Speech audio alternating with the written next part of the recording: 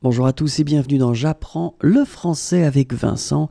Et dans cette vidéo, nous allons découvrir ensemble un mot.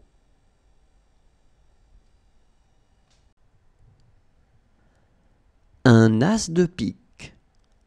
Un as de pique. Un as de pique. Au revoir et à bientôt.